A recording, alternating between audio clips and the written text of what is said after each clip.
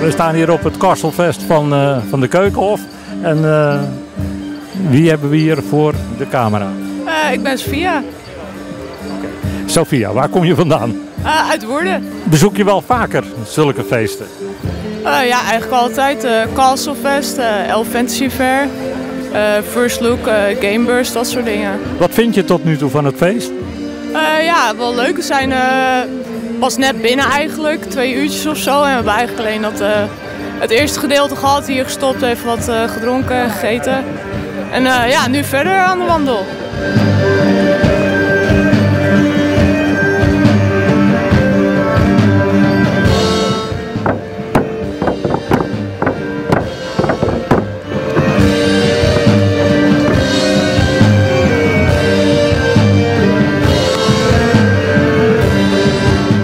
Mijn dochter Naomi.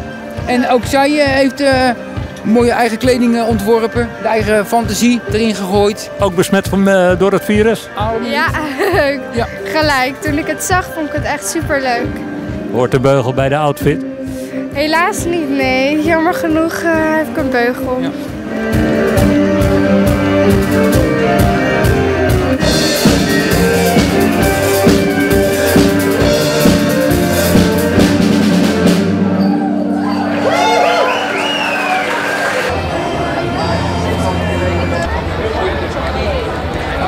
Waarom komen jullie morgen terug?